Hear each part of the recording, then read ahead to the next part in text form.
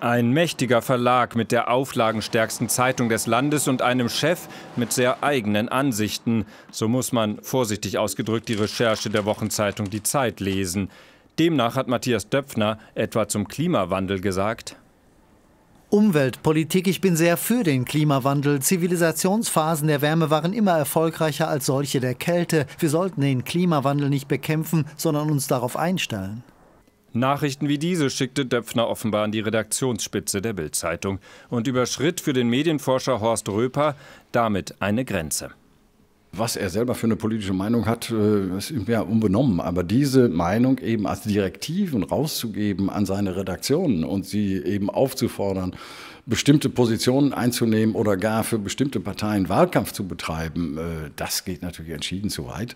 Auch rassistische Nachrichten zitiert die Zeit. Döpfner schreibt demnach in einem kruden Mix aus Englisch und Deutsch: Free West, fuck the intolerant Muslims und all das andere Gesocks. Mit solchen Aussagen würde Döpfner auch gegen die von ihm selbst verkündeten Grundsätze des Springer-Konzerns verstoßen. Wir sind überzeugt, dass klar sein muss, wir tolerieren keinerlei Rassismus. Einen weiteren Grundsatz hat Friede Springer, Witwe des Verlagsgründers Axel Springer, vor wenigen Tagen noch einmal in einem Interview betont. Journalismus müsse Politik erklären und begleiten, aber nie machen. Da ihr Döpfners Nachricht kurz vor der letzten Bundestagswahl vermutlich nicht gefallen. Unsere letzte Hoffnung ist die FDP. Nur wenn die sehr stark wird, und das kann sein, wird das grün-rote Desaster vermieden. Können wir für die nicht mehr tun? Nebenbei enthüllen die Recherchen der Zeit auch, dass Döpfner sich mehrfach herablassend über Angela Merkel geäußert haben soll, die von Friede Springer als Freundin bezeichnet wird. Doch selbst wenn die ehemalige Springer-Chefin wollte, könnte sie Döpfner wohl nicht rauswerfen.